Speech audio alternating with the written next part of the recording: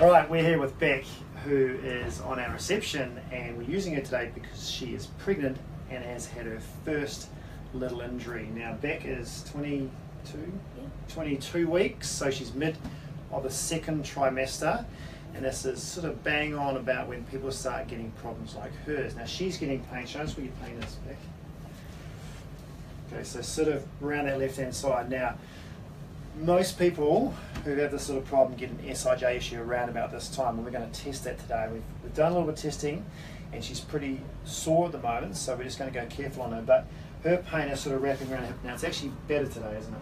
Yeah. Better today. It was really bad, but I'm going to show you what's going wrong with Bec on her movement. So if you stand on your left leg for me, so standing on her left leg, if you drop that down, drop your right leg down, yeah, and then lift up. So down into this position.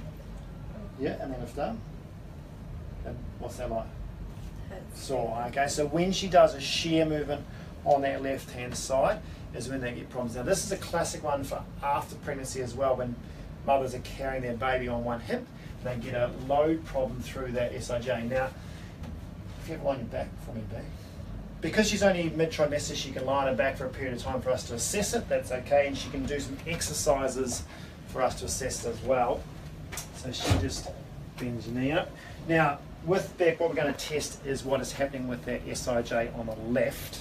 Okay, so with her, obviously, she's second trimester, her pelvis is expanding, so ligaments are starting to get a little bit loose. And I would say it's a little bit of a combination. One, she's pregnant and her ligaments are getting loose, so she's pretty susceptible to getting an SIJ inflammatory problem going on. But two, what's happened with every pre mum is her exercises drop down. So before, what we used to do, squats, squats, lunges, running, doing weights, and now she's dropped all that and doing walking. So it's a combination of a little bit of deconditioning from not doing that. So she's losing all her glute strength. So she's got that going on. So she's dropping strength, and then her pelvis is changing and expanding and probably getting a little bit unstable. And it's usually on the one side usually weaker on, the one side you lean on. And so we're going to test that today. So not necessarily it's tight. It feels really stiff. So I'll show you what I mean.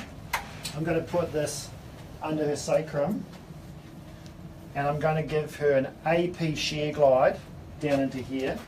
So it's going to be this way. And we're just going to have a look at the look on her face. You ready? Nerves.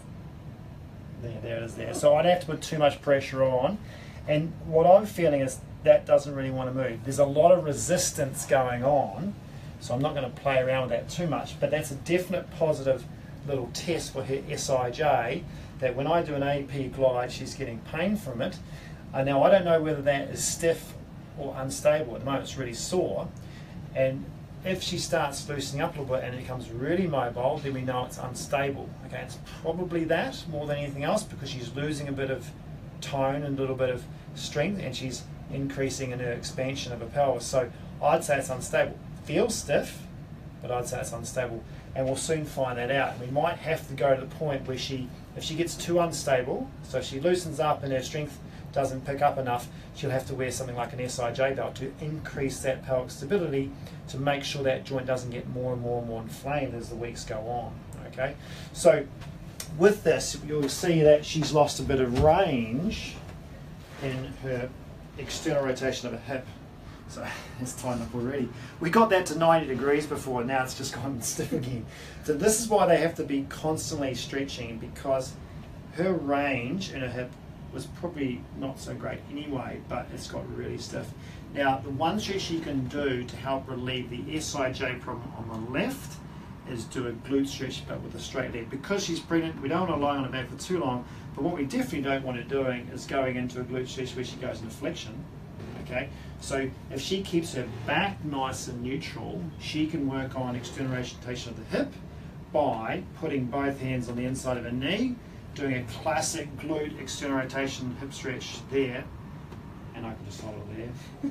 now she's got a look on her face, but that's not the SIJ pain, is it? That's just tight That's just tight. tight in hip.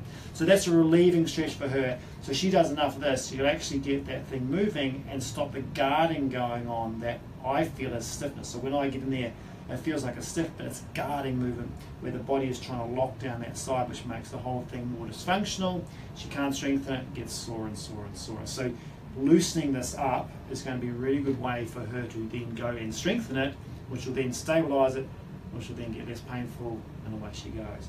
So she can just put like her foot on the corner of a sofa or something in the gym, and she's holding there as long as she's pushing out, and you're okay with that.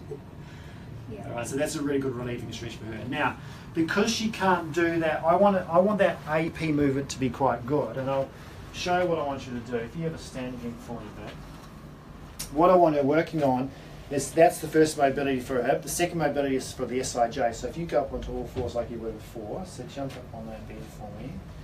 So she goes because it's her left hand side, right? She wants her left knee on the bed, holding to here. Now you can do at home. You can just do this in your own bed or uh, own sofa, or if you're um, in the gym, you can hold on a bench.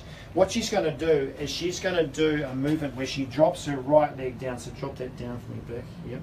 So she's trying to open up and stretch the left hand side.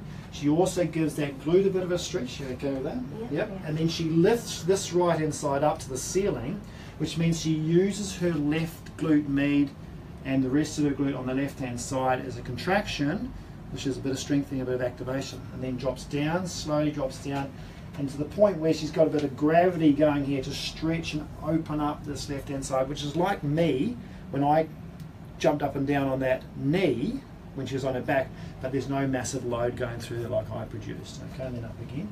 So she'd do a bit of a stretch coming up, hold it for two or three seconds, and then slowly down and really drop that down into there. A bit of a deep stretch. You okay with that? Yeah. And up again. And I do about sort of two to three sets of ten to open up that left hand side and loosen up as part of a mobility to try and improve what's going on there.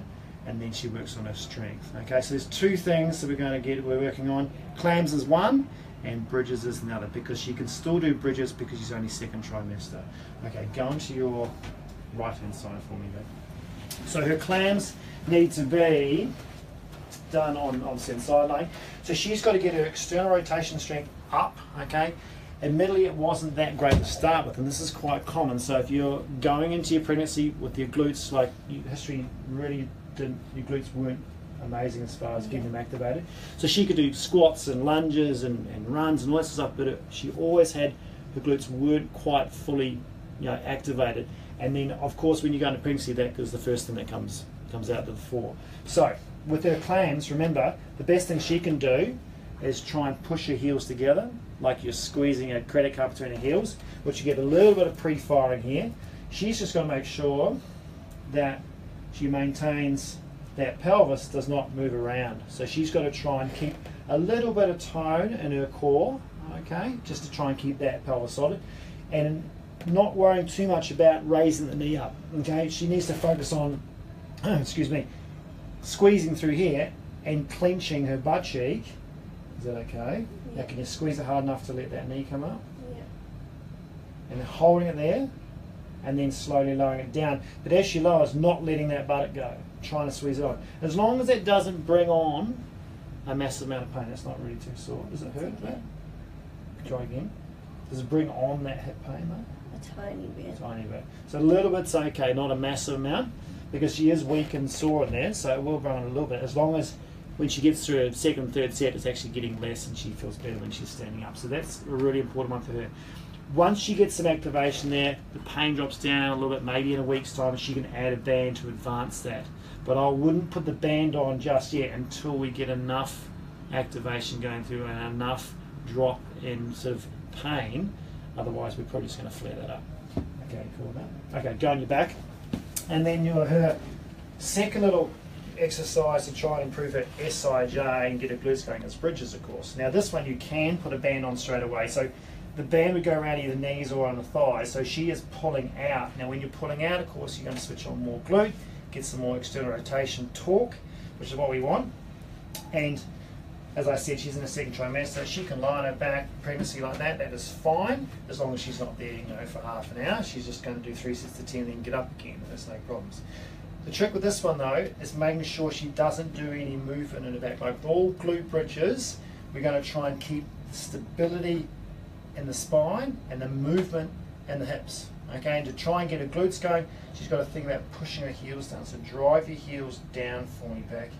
And then when she comes up, then she squares her butt cheeks together to try and get that stability through that SIJ, switch your glutes on, and then come down again. And the whole time, those knees to stay knees, need to stay parallel. That's why it's good having the band to keep pushing out against it. Okay, so use that when you're doing it. Try again for me Bec. So hinging through there. And then when she comes down, she's got to keep the weight through the heels and try not let the butt, buttock go too much. Go again for me if you're okay with that. Not too sore. Has it hurt a bit? It's okay. It's okay. So she can do pain-free exercise, which is great. Okay, and this is the one way of really getting those muscles working and doing something for that region to try and improve it without trying to have to go and do squats and lunges and that sort of thing, which is probably just going to make it worse at the moment. Okay, go again. So I do sort of, you know, two or three sets of 10, then you get up and reassess it and see how her walking's going. Okay? And by the time she's done a little bit of that, hopefully over the next week, she's a little bit looser through that joint and we can test it and progress forward. The other thing I need to show you as well is she's also got pain into extension, which is a bit of a complication because we don't really know whether this is a lower back disky problem as well or whether she's just gone into a lot of muscle spasm because of the sacroiliac joint pain. So if you show me your extension from the back, so if you watch this, she can only sort of go back that far and she doesn't really like it. The other thing too about what Bec does is she tends to shear, so when she goes back she sort of shears backwards, like she sort of almost shears backwards. So her movement is not sort of extension, it's almost like a little bit of shearing into extension. So you just show me that again for me, Bec. Yeah, she sort of just sort of hinges and slides back on that point, which is going to jam it a bit. Just try when you go head back what happens. Yeah, she just stops at a point. Now, we're going to keep an eye on that and make sure that extension does improve over time. And we might have to do a little bit of soft tissue work and release work to help with that. But it's something that needs to improve over time because otherwise, if she keeps, you know, not being able to extend, she's going to have problems further down the track. We might get the SIJ problem right, but we've also got to make sure that this clears up as well. If it doesn't, it's something we're going to have to reassess. We'll see you next time.